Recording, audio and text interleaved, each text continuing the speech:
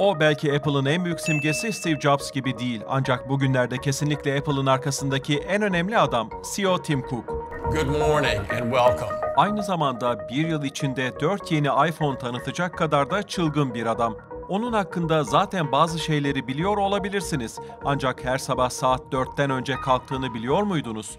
Ve adının Amerikan Başkan Yardımcılığı için geçtiğini? Teknoloji Titanları'nın yeni bölümünde Tim Cook hakkında bilmeniz gereken her şeyi izleyebilirsiniz. I don't ever give up. and, and I was human. I am human. You're going to see the future. Internet, some internet. Tech Titans. Timothy Donald Cook 1 Kasım 1960'ta Alabama'nın Mobile kentinde doğdu. Mütevazı bir geçmişe sahip. Tim Cook'un babası Donald bir tersane işçisiydi ve annesi Gerald'ın bir eczanede çalışıyordu. Tim ve iki erkek kardeşi Gerald ve Michael'la ilgileniyordu. 1978'de Robertsdale Lisesi'nden ikincilikle mezun oldu. Acaba onu geçen kişi şimdi ne işler yapıyor? 1982'de Alabama'daki Auburn Üniversitesi'nden endüstri mühendisi dalında lisans derecesi aldı. 1988'de Kuzey Carolina'daki Duke Üniversitesi Fuka İşletme Fakültesi'nde yüksek lisans yaptı. Bu arada Cook sadece iyi bir öğrenci değildi. Aynı zamanda sıkı çalışmayı da biliyordu. Ergenlik döneminde bir kağıt fabrikası, alüminyum fabrikası gibi çeşitli yerlerde çalıştı ve annesinin eczanesinde de yarı zamanlı görev aldı. Cook, Apple için çalışmaya başlamadan önce de adını duyurmuştu. Teknoloji şirketi IBM'de 12 yıl çalıştı. Intelligent Electronics'te operasyonlardan sorumlu başkan olarak görev yaptı ve ardından 1997'de Compact'ta kurumsal malzemelerden sorumlu başkan yardımcısı oldu. Kısa bir süre sonra Steve Jobs Apple'a katılmasını istedi ve elbette bu teklifi kabul etti. Çünkü Steve Jobs'a kim hayır diyebilirdi ki bu arada? 1998'de Apple gerçekten mücadele veriyordu ve pek çok kişi sonun yaklaştığına inanıyordu. Ancak Tim Cook ve Steve Jobs işleri tersine çevirmeyi başardı. Cook, Apple'a dünya çapındaki operasyonlardan sorumlu kıdemli başkan yardımcısı olarak katıldı. 24 Ağustos 2011'de büyük adımlar attı.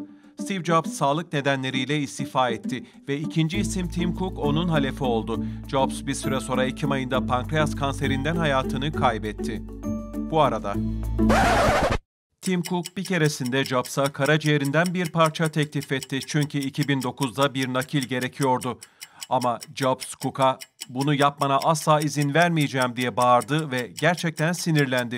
Cook daha sonra 12 yıllık çalışma sürelerinde Jobs'un kendisine sadece 3 veya 4 kez bağırdığını ve bunun da onlardan biri olduğunu anlatmıştı.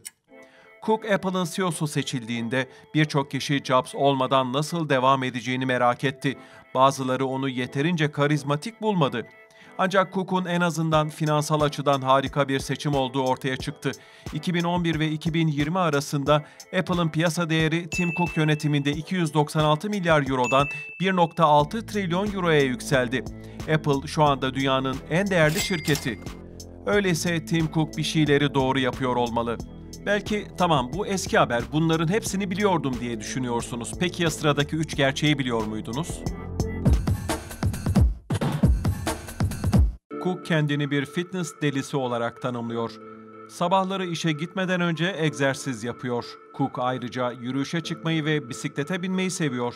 Twitter profiline göre büyük bir basketbol ve futbol hayranı ve milli parkları seviyor. Apple Watch'ın ortaya çıkması da Cook'un fitness tutkusuyla ilişkili olabilir.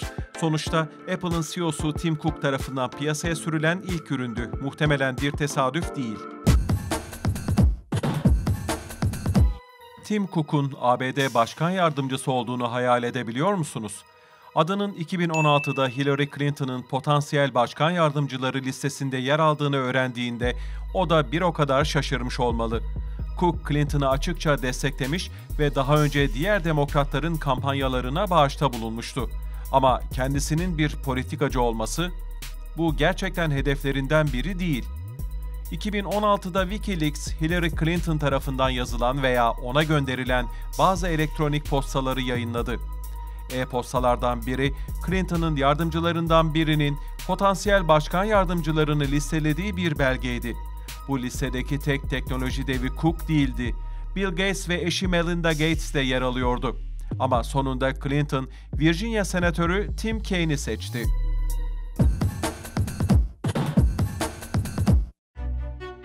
Tim Cook bayağı bir erken kalkıyor.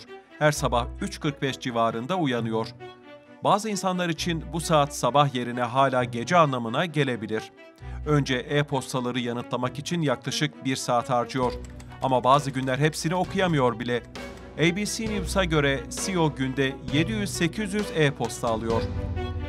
E-postalarla işini bitirdikten sonra daha önce bahsetmiştik 50 dakikalık bir antrenman için spor salonuna gidiyor. Stresten uzak kalmayı böyle başardığını söylüyor. Antrenmandan sonra bir kahve içmek için Starbucks'ta duruyor ve ardından doğruca ofise. Tim Cook özel hayatı konusunda sessiz kalsa da konu onun için önemli olan şeyler olduğunda söyleyecek çok şeyi var. Bir zamanlar iklim değişikliğini reddedenlere karşı konuşma yapıp Apple hissedarlarına kendisinden çevre sorunlarını ihmal ederek yalnızca en büyük karı elde etmesini istiyorlarsa hisselerini çekmeleri gerektiğini söylemişti. Cook ayrıca LGBTQ haklarının savunucusu. Amerika'daki en büyük 500 şirketten birinin ilk eşcinsel genel müdürüydü. 2014'te bu durumu açıkladığında birçok Apple çalışanının onun cinsel kimliğini bildiğini ve onun için bunun saklamaya çalıştığı bir şey olmadığını söylemişti. Sadece özel şeylerin özel kalmasını istiyordu. Ancak Cook daha sonra fikrini değiştirdi ve eşcinsel olmakla ilgili konuşmaya başladı.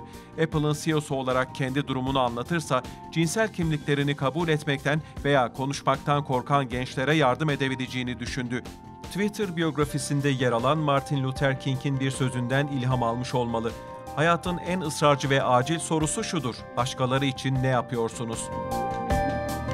Tim Cook hakkında ne düşünüyorsunuz? Onun hakkındaki her şeyi biliyor muydunuz? Yorumlarda bize bildirin. Bu videoyu beğendiyseniz beğen tuşuna basmayı ve dijital dünyanın en son haberleri için kanalımıza abone olmayı unutmayın. Görüşmek üzere.